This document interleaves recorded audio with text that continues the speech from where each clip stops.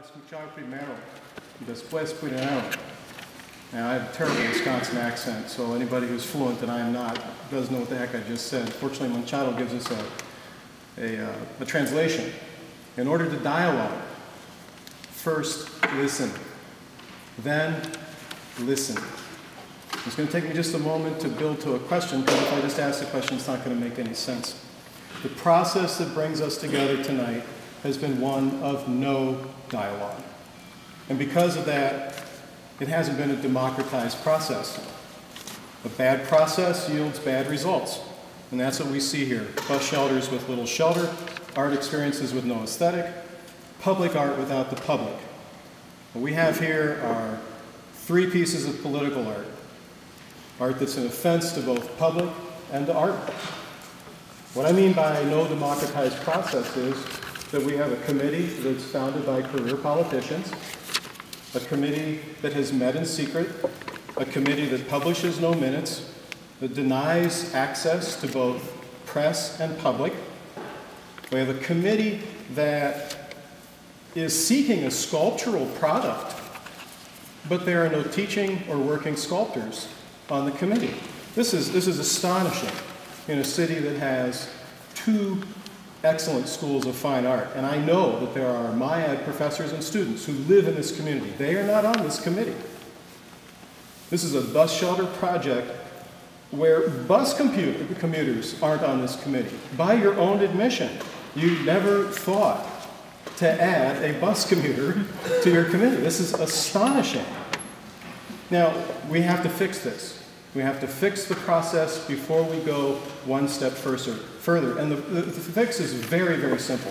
The first thing we have to do is stop right now. And we have to fix this secret committee. The second thing, we have to publicize the next meeting of this committee to the people. And I don't mean that the committee invites people. You invite people to a private event. This is not a public event. This is a timeshare condo sales event. Okay? This is not a people's meeting. This is a meeting where you control the discussion, you set the time limits, you preset the content, and you preset the outcome. It's unacceptable. Is there some, I'm not. I'm, I'm coming to a question. I'm coming to a question. I'm coming to a question. Every future meeting of this committee has to be publicly advertised.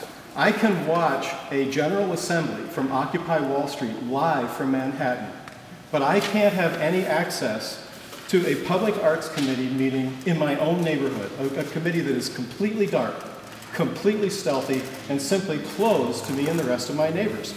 All the meeting minutes from this committee, Alderman, you can shout me down, and I'm going to continue to talk until I'm taken out of this room, because this is a sick process and it has to stop. We have to, respect the people all of the meeting minutes, I'm, I'm perfectly respectful. All